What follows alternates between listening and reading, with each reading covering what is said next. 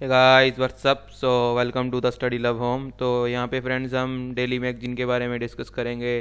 So we shall discuss about the current affair current affair for the competitive exam here तो यहाँ पे हम mainly facts के बारे में डिस्कस करेंगे। तो टेलीग्राम पे यहाँ पे आप देख सकते हो यूपीएससी लाइव के नाम से चैनल है।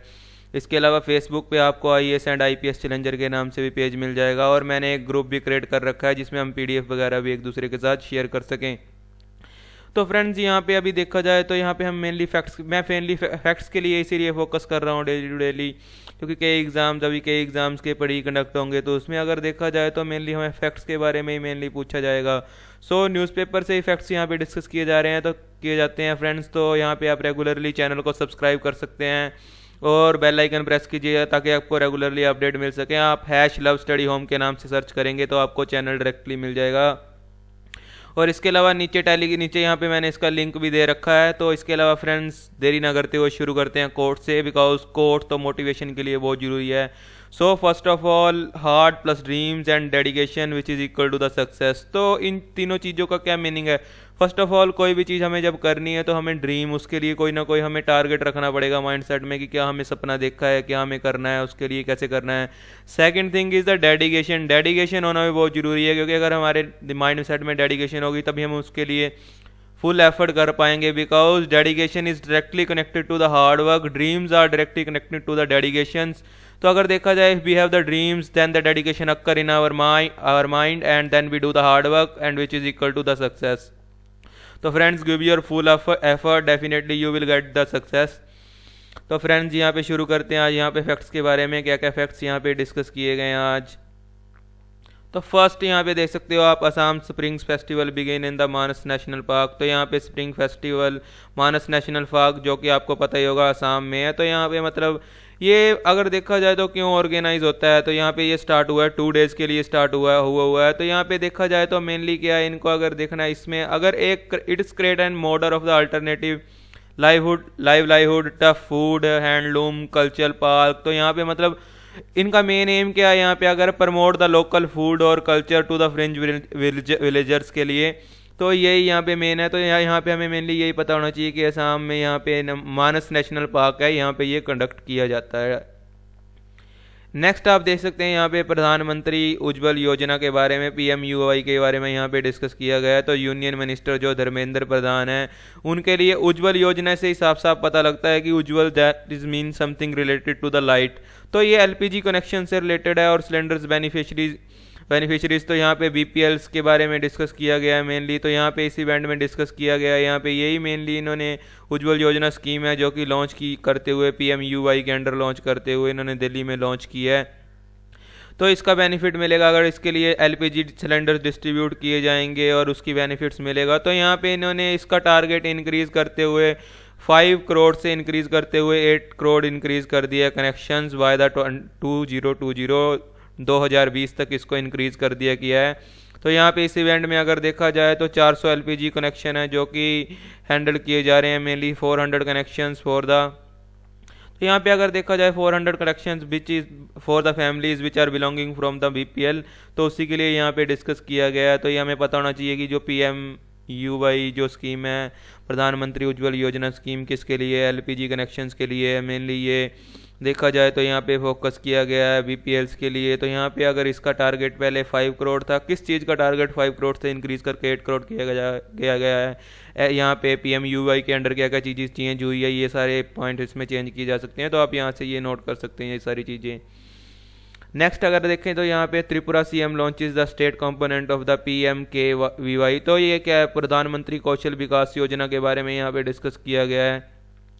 इन्होंने मतलब यहाँ पे टारगेट रखा है कि training to give the more than one one lakh sixteen thousand youths को ट्रेनिंग देनी है। तो यहाँ पे अगर देखा जाए तो प्रधानमंत्री कौशल विकास योजना के अंडर अगर देखा जाए तो ये किसके अंडर आता है? तो देखा जाए तो ये डायरेक्टोरेट और स्किल स्किल डेवलपमेंट के अंडर आता है। तो उसी के लिए यहाँ पे तो जो त्रिपुरा के सीएम है, उन्होंने लॉन्च किया स्टेट के लिए प्रधानमंत्री कौशल विकास योजना। तो अगर इनका मेन टारगेट है यहाँ पे one lakh sixteen thousand youth है, उनका इनका टू थाउज़ेंड ट्वेंटी तक बेनिफिट दिया जाएगा। नेक्स्ट यहाँ पे आप देख सकते हैं, यहाँ पे फैक्ट जैसे कि India foreign exchange reserve hit a life time high तो यहाँ पे फॉरेन एक्सचेंज रिजर्व्स के बारे में डिस्कस किया गया यू एस डॉलर है जो कि इंक्रीज करते हुए, इस बार देखा जाए तो 1.828 बिलियन डॉलर है जो कि लास्ट वीक मार्च थर्टी तक इंक्रीज हुआ है अकॉर्डिंग टू आरबीआई के डाटा के अकॉर्डिंग तो यहाँ पे फॉरेन एक्सचेंज रिज़र्व के बारे में यहाँ पे डिस्कस किया गया है। लाइफ टाइम अगर देखा जाए ओवरऑल पहले से सबसे ज़्यादा हाई रैंक ये हाई बताया गया है कि हाई इन्वेस्टमेंट हुई है। लोग मतलब बाहर जाके ज़्यादा इन्वेस्ट इन्वेस्टमेंट कर रहे हैं तो उसी के बारे में यहाँ पे डिस्कस किया डिस्कस किया गया है। और अगर यहाँ पे पैसे के अलावा यहाँ पे पैसे के बारे में डिस्कस किया गया तो कितना इंक्रीज हुआ है? One point eight two eight billion dollar है, जो कि लास्ट वीक में इंक्रीज देखने को मिला है। इसके अलावा आप देख सकते हैं कि गोल्ड चेंज कितना है। यहाँ पे अगर देखा जाए गोल्ड में मतलब कोई भी चेंजिंग नहीं होती हुई मिली है। Twenty one point six one four billion dollar का बिलियन डॉलर ही मतलब गोल्ड सेव है यहाँ वहाँ पे, और उस उतना ही अभी तक सेव है तो कोई चेंजिंग नहीं होती हुई मिली है। अगर इसमें से हमें देखा जाए तो ये चीज़ पूछी जा सकती है कि क्या चीज़ किसमें चेंजिंग होती हुई मिली है? गोल्ड सिल्वर समथिंग एनीथिंग कोई भी चीज़ें ऐसी पूछी जा सकती हैं। फैक्ट्स मेनली यही है इसमें कि गोल्ड में कोई चेंजिंग होती हुई नहीं मिली है। और अगर हम Indian foreign exchange reserve life time के बारे में बात करें तो हाइयर सबसे ज़्यादा मतलब कब देखने को मिला है? तो 2018 में देखा जाए तो सबसे हाइयर देखने को मिली है। Life time high US dollar investment देखने को मिली है। तो आरबीआई के अकॉर्डिंग ये डाटा है। तो इसके अलावा नेक्स्ट आप देख सकते हैं यहाँ पे फैक्ट प्रेसिडेंट का तीन डेज़ का विज़िट है यहाँ पे। प्रेसिडेंट यहाँ पे जिसमें डिस्कस किया गया इंडिया एंड इक्वेटोरियल गिनिया के बारे में साइन किया गया है। तो यहाँ पे अगर इसके बारे में देखा जाए तो अभी यहाँ पे गिनिया के साथ चार एग्रीमेंट साइन हुए हैं। तो यहाँ पे इनका मेन थ्री नेशंस पे विज़िट है। तो जो कि स्वाजीलैंड और जाम्बिया दो कंट्रीज़ और हैं, वहाँ पर भी इनका विज़िट होगा। तो उसी के बारे में यहाँ पे डिस्कस किया गया है। तो पहली बार यहाँ पे विज़िट हुआ है, उसी के बारे में यहाँ पे डिस्कस किया गया है। तो दोनों कंट्रीज़ आपस के बीच में बायोलेटरल टाइज है, इनके बीच में, दोनों कंट्रीज़ के बीच में। तो थ्री नेशंस का विज़िट करेंगे इक्वेटोरियल गिनिया के पास यहाँ पे कंट्रीज़ जैसे मैंने बताया स्वाजीलैंड और जाम्बिया पे भी विज़िट करेंगे। तो वहाँ पे देखने को मिलेगा यहाँ पे माइनिंग हेल्थ इन सभी चीज़ों agriculture mining health telecommunication I sectors पे फोकस किया गया है। तो क्या क्या एग्रीमेंट साइन होते हैं, ये तो अभी देखने पर मिलेगा। तो अभी इनका फ़र्स्ट कंट्री में विज़िट हुआ है। नेक्स्ट यहाँ पे अगर देखा जाए तो सी डब्ल्यू जी जैसे आपको चल, पता ही होगा so Commonwealth going games are going on तो यहाँ पे इसी के बारे में देखा जाए तो यहाँ पे इंडिया मैंस टेबल टेनिस के बारे में बात किया गया बात की गई है। तो ये फ़र्स्ट टाइम है this is the first time जब दोनों मैन और वोमेन है जिन्होंने अगर देखा जाए तो टेबल टेनिस में गोल्ड मेडल जीता है। तो अगर देखा जाए तो यहाँ पे ओवरऑल देखा जाए तो second most table tennis gold के बारे में यहाँ पे डिस्कस किया गया। India joined England to back second most ever tennis gold medal तो इंडिया ने यहाँ पे इंग्लैंड को हराते हुए गोल्ड मेडल जीता है। तो इंडिया डिफीटेड नाइजीरिया तो यहाँ पे अगर देखा जाए India defeated Nigeria to clinch gold medal in men's men's में इसने मतलब नाइजीरिया को हराते हुए और अगर वोमेंस में देखा जाए तो यहाँ पे इन्होंने इंग्लैंड को हराते हुए मतलब अगर देखा जाए तो इस फ़र्स्ट टाइम है जब टेबल टेनिस तो मतलब ये भी पॉइंट यहाँ पे अराइज हो सकता है किसी भी कम्पिटेटिव एग्ज़ाम के क्वेश्चन में कि कौन से ऐसी गेम है जिसमें दोनों में टेबल टेनिस जीता गया। इंडिया के द्वारा गोल्ड मेडल जीता गया सी डब्ल्यू जी के अंडर कॉमनवेल्थ गेम्स के अंडर। तो ये देखा जाए टेबल टेनिस एक सिंगल सी डब्ल्यू जी का एडिशन रहा इस बार, जिसमें दोनों में ही मैन और वोमेन के द्वारा दोनों में ही गोल्ड मेडल जीता गया है। नेक्स्ट फैक्ट दे सकते हैं। तो यहाँ पे गेम्स के बारे में मेनली फैक्ट्स एक काफ़ी फैक्ट्स आए हुए हैं। अभी तक जैसे कि फाइव गोल्ड मेडल जीते जा चुके हैं इंडिया के द्वारा, अगर देखा जाए 2018 में। तो यहाँ पे अगर देखा जाए तो कॉमनवेल्थ गेम्स यहाँ पे इसमें डिस्कस किया गया अगर यहाँ पे बैडमिंटन के बारे में डिस्कस किया गया है तो पास्ट यहाँ पे जब टू में ये एडिशन हुआ था तो तब सिल्वर मेडल जीता गया था इंडिया के द्वारा। और देखा जाए तो सानिया नेहवाल किदाम्बी इन्होंने मतलब सिंगल सिंगल मैच प्ले किया है। तो यहाँ पे अगर देखा जाए तो यहाँ पे भी इसमें मलेशिया को डिफिट करते हुए थ्री वन के साथ गोल्ड मेडल जीता गया है इंडिया के द्वारा। नेक्स्ट यहाँ पे देखिए वेट लिफ्टर में भी पूनम यादव के द्वारा फिफ्थ गोल्ड मेडल इंडिया के लिए जीता गया है। तो यहाँ पे पाँच गोल्ड मेडल इंडिया ऑलरेडी जीत चुका है। अगर 2014 में इन्हीं की बात की जाए, पूनम यादव की तो यहाँ पे इन्होंने ब्रॉन्ज मेडल जीता था।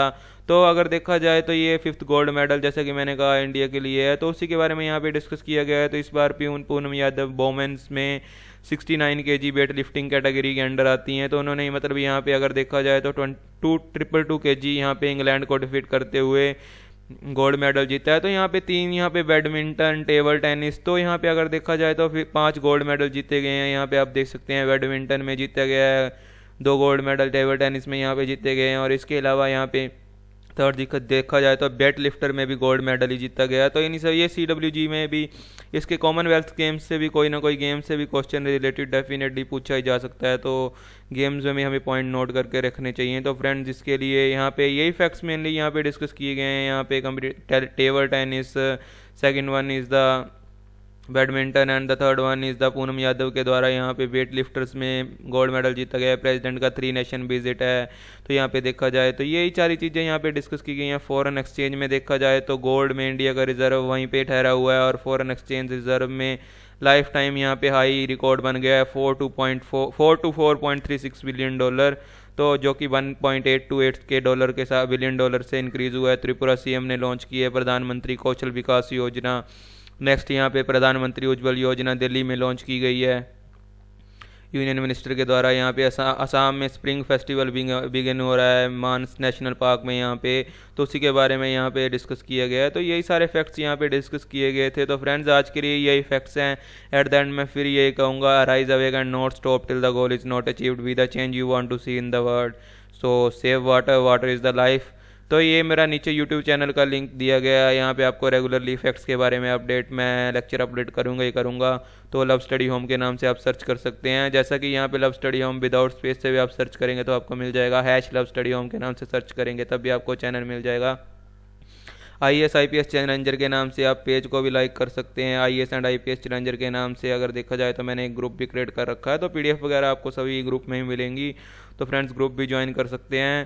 तो मैं जो डेली के डेली चेक करता हूँ, मैं हर किसी को परमिशन दे देता हूँ। अगर कोई सही बंद, जो भी मेरे को लगे कि बंदा सही है ज्वाइन कर रहा है सीरियस कम सीरियस पर्सन है, अगर बंदा इसमें, क्योंकि बंदा अगर कोई है तो उसको उस बीच में पार्टिसिपेट तो डेफिनेटली करना ही चाहिए। तो फ्रेंड्स आज के लिए इतना ही। तो have a good day friends